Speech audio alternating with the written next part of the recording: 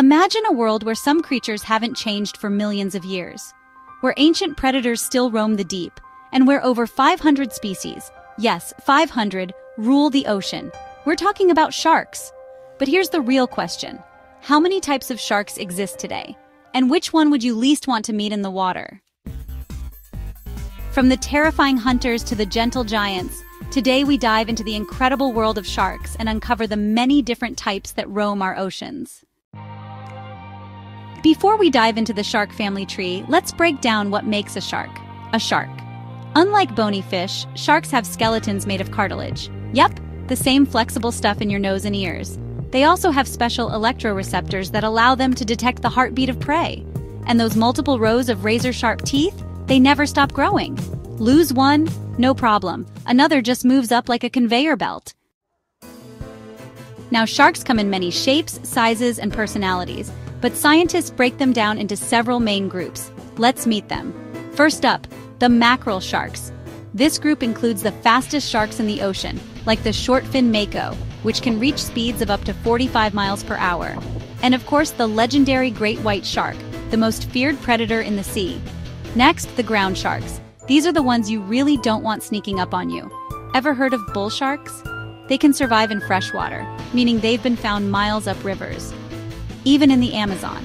Then we have the carpet sharks, the stealth experts. These sharks love to lie in wait on the ocean floor, using their amazing camouflage to ambush prey. Sharks come in all sizes, from the biggest fish on Earth to some you could literally hold in your hand. Meet the whale shark, growing up to 60 feet long, but don't worry, it only eats plankton. That's right, the biggest shark is also one of the most harmless. And on the other end, the dwarf lantern shark, smaller than your hand. It even glows in the dark.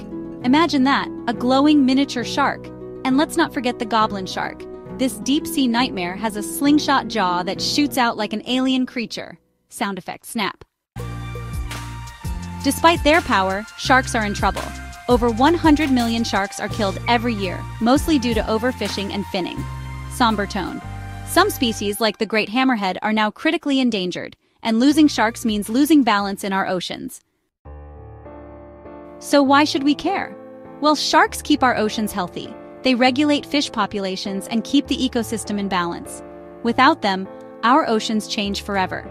You can help by supporting marine conservation, avoiding shark fin products, and learning the truth about these misunderstood creatures.